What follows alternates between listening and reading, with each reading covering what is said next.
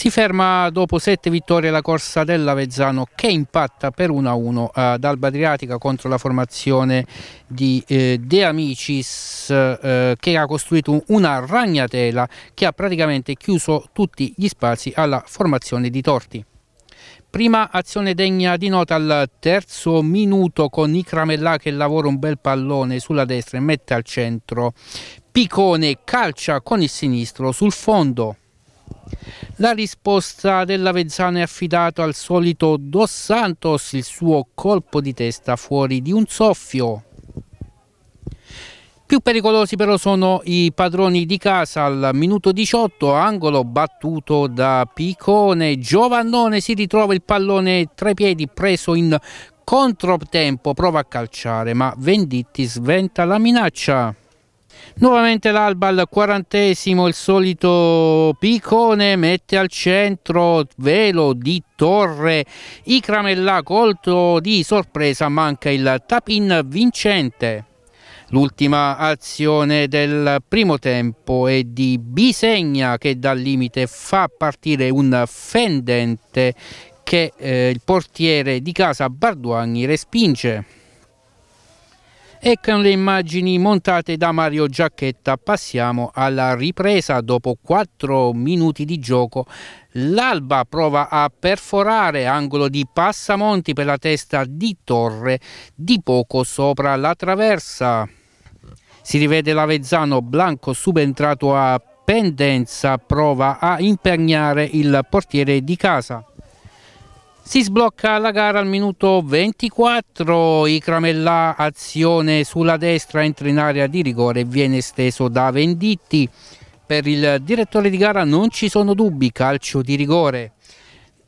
Dal dischetto si presenta lo stesso Icramellà, palla da una parte, portiere dall'altra e 1 a 0.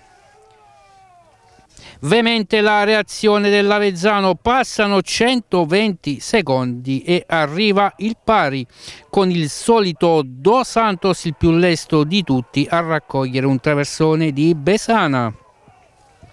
Le ultime azioni sono di marca bianco-verde con Blanco al minuto 29 e 31. Entrambe le conclusioni si spengono sul fondo. Termina così la gara tra Alba Adriatica e Avezzano 1 a 1. Si ferma la corsa dell'Avezzano qui ad Alba, un pareggio, un 1 a 1.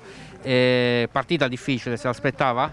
Sì, sapevamo che era difficile perché incontravamo una squadra che per tradizione è sempre stata ostica, in particolar modo sul, su questo campo dove non si può giocare.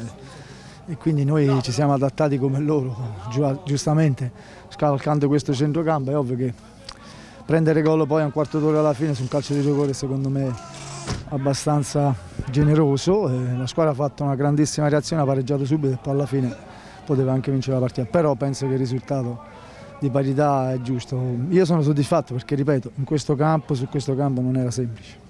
Alla luce degli altri risultati c'è il rammarico perché forse oggi si poteva dare il KO definitivo al campionato? Beh, io adesso non li so i risultati perché però il campionato ancora mancano ancora 15 partite e talmente 45 punti, sono talmente tanti che certo il rammarico però eh, se perdevamo, quindi io penso che il risultato positivo sembra una cosa importante eh, perché lavori tranquillamente in settimana, adesso ci sono queste festività natalizie, ce le godiamo tutte perché è giusto, perché hanno fatto qualcosa di straordinario i ragazzi e poi alla ripresa ci prepareremo bene appunto per la ripresa del campionato. Grazie mille mister, buone feste. Grazie, auguri a tutti. Mister Marini, un 1-1 uh, contro la capolista, avete, firmato, avete fermato l'Avezzano dopo sette eh, vittorie. Eh, più contento per il punto o più rammaricato perché magari si potevano portare a casa i tre punti? Ma sì, per, eh, per, il computo di azioni che abbiamo avuto durante la partita chiaramente un po' l'amaro in bocca c'è perché se sfruttavamo le due occasioni avute nel primo tempo può darsi la partita prendeva un'altra un piega, un altro risultato. Però per noi oggi era importante dare un segnale dopo, dopo la sconfitta di, di, Domenica Sportore, quindi i ragazzi hanno avuto subito una reazione importante contro la prima della classe, ecco, una partita che noi abbiamo affrontato con, con il massimo della determinazione, con il massimo dell'impegno e penso, penso, che alla fine il, il risultato di pareggio eh, sia un risultato giusto perché chiaramente il loro valore non si discute quindi per noi ecco, è importante, eh, ripeto, era importante dopo il, la sconfitta di domenica dare un segnale e subito un, una scossa di ripartenza per la squadra. Benissimo, grazie mille mister e buone feste. Voi, voi, auguri, salve. Auguri.